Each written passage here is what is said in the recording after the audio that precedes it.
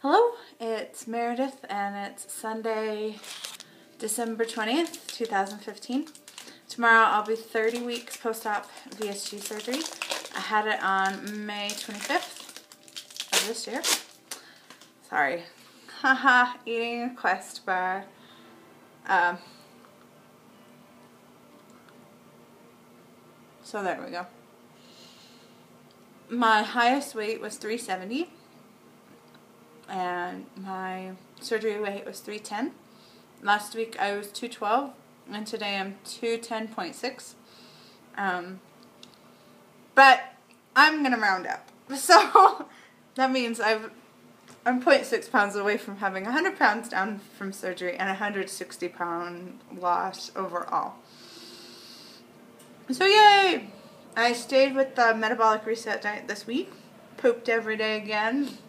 And I wasn't expecting a huge loss again this week. Last week I lost 9 pounds. And um, this week was 1.4. And, you know, I was hoping to get to like 210 exactly or below, you know, so I could have officially lost 100 pounds. But, uh, you know, it's it's official enough for me, honestly. So, um, yeah, I won't weigh in again this year.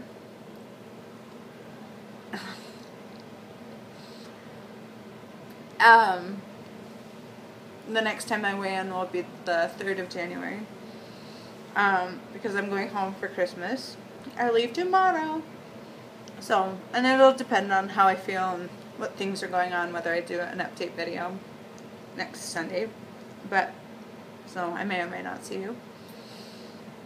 So in, don't know, on Friday, I will be seven months post-op. So in seven months, I lost 100 pounds. In 12 months, I've lost 160. Um, I've also gone down nine sizes because guess who's in a size 10 now? Holy cow, the sizes have been just whizzing by. I it makes it difficult sometimes to wear clothes or find clothes that'll look good because I don't know. It's just difficult to to buy clothes because I don't have any money. and then to I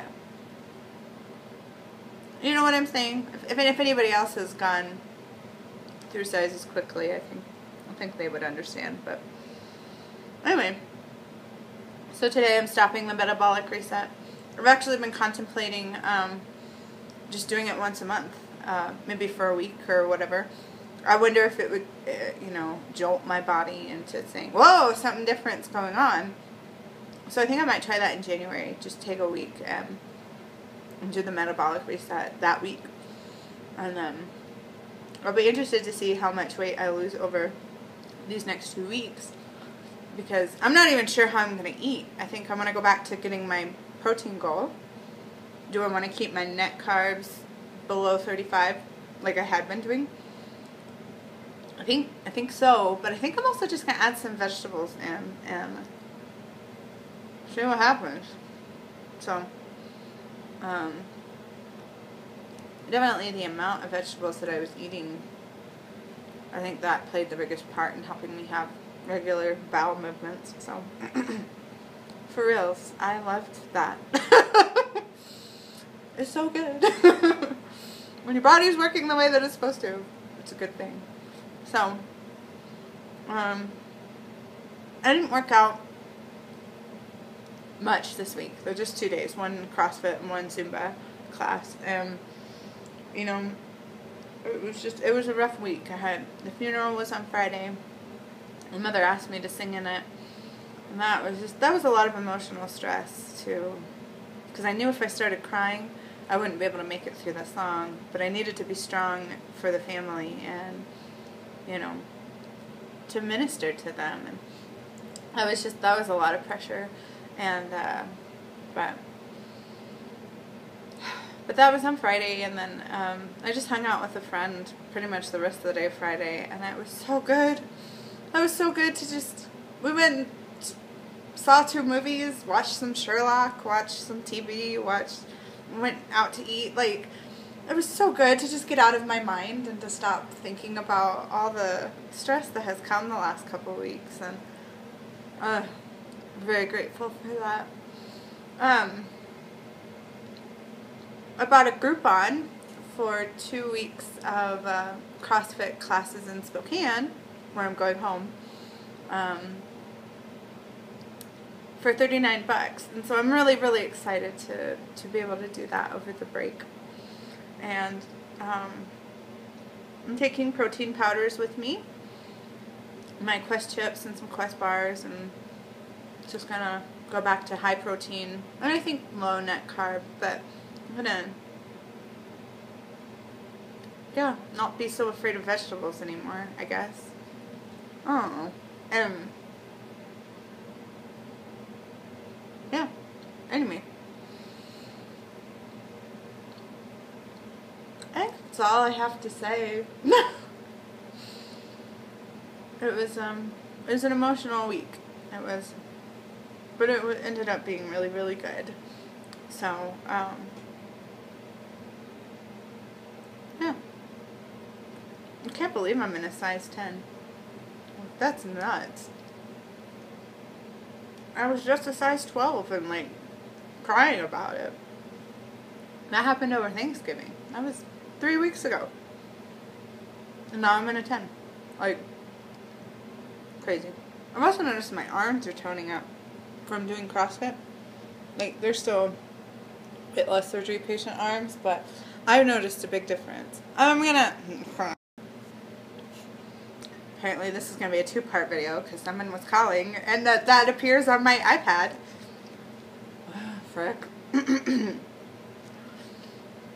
I want to take measurements in January, and uh, I kind of am kicking myself for not have taken initial measurements last January, but I really didn't want to know. if you're new, I don't care if you don't want to know. you take those full body shots, you measure with the tape measure, do it. you won't regret it. You'll be you will regret it if you don't do it, like I am now. But yeah, just to tone up and I've got 40 pounds to go until my goal of 170. And I've got, well, I think I'm going to aim for 140. And um, uh, a lot of people say, a lot of people have some re- regain of about like 10 to 20 pounds. Good grief. And, um,